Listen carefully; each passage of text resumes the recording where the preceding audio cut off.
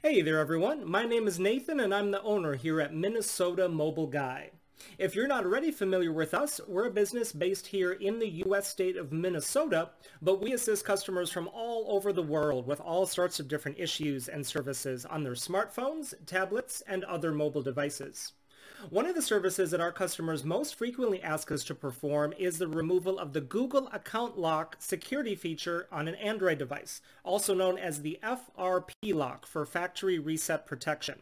Here with us today, we happen to have a Samsung Galaxy Tab Active Pro which is an Android tablet made by Samsung. And this is a device that does indeed have the Google account lock enabled because as we can see here, as we're going through the initial setup steps, we get to the screen that tells us that in order to continue, we have to either verify the previous security screen pin lock that was used, or if we tap on use my Google account instead, it'll pull up the second screen that tells us that the other option, oops, tap on it again, there we go. Tells us that the other option is to sign in with a previous Google account that was used on the device. And so we've been contacted by tons of customers over the years asking us for assistance with this specific issue on this specific model, usually either because they themselves accidentally got locked out of their own device and couldn't remember or recover their login information after having done a factory reset, or because they purchased the device used from a dishonest seller who didn't tell them that the device was locked. And then of course once the buyer discovers the lock, they're not going to have any of the previous user's login info, and unfortunately the seller in those cases has usually long since disappeared since it's a very common scam that happens all the time these days in the buying and selling of used mobile devices. But we're making this video here today to show any interested customers that we do offer a service to be able to get the lock removed from this exact model without having to have the previous user's login info. It's something that we do directly to the tablet while it's plugged into a computer. And the great thing about this is that it's something that can be done for just about anyone anywhere in the world. So you don't necessarily need to be located here in our local area in order for us to be able to do this for you. You would just need to have a decently powerful Windows computer along with a fast internet connection, and we can remotely connect right to your computer through the internet to perform the exact same procedure that we just did here on this one. So actually before starting the video, we had already done 99% of the work necessary to remove the lock just so we could keep the video as short as possible. There's just one step left and that is to restart the device. And so to do that, we got to hold both of these buttons together. There we go. Restart. There we go.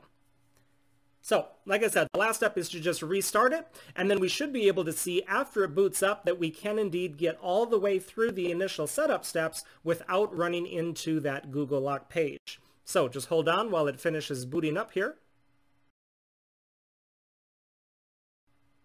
All right, there we go. We are fully booted up and ready to go. So we're going to hit that blue arrow there to begin going through the steps. We first have to read and agree to Samsung's terms and conditions. Do that and hit next. And then it's going to ask us about copying over old data, which we don't need to do. Then it's going to bring us to the Wi-Fi screen, which we don't actually need. So we're just going to turn it off and hit skip.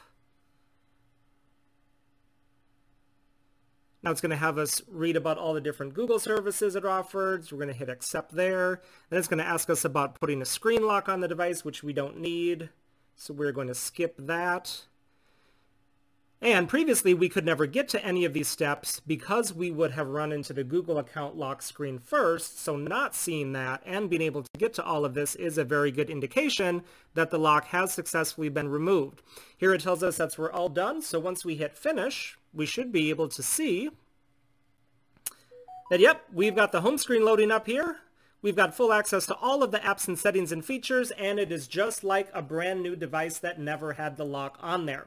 While we're here, I'm going to pop into the settings just to show you exactly what we are working with. So when we go under About Tablet, we can indeed see that we have a Galaxy Tab Active Pro, and then that model number there, the SMT540. That is the specific model number of this device that we are working with here. So, if you have one of these Tab Active Pros and need help getting the Google lock removed from it, we would love to assist you with that, so go ahead and get in touch with us. All of our contact information will be right down in the video description, and we'll also put a slide at the end of the video that has all of our details there as well. While you're here, make sure to check out some of the other videos that we have here on our channel, as we offer lots of different services for thousands of models of mobile devices, and I'm sure you'll find something there that could come in handy someday. Hitting that subscribe button while you're there will enable you to be notified of all of the new videos and services that we're constantly adding and putting up, just like we did here with this one. Y para todos ustedes hispanohablantes, nosotros también hablamos español, así que ustedes también nos pueden contactar sin duda. Thanks so much for watching everyone, and have a great rest of your day.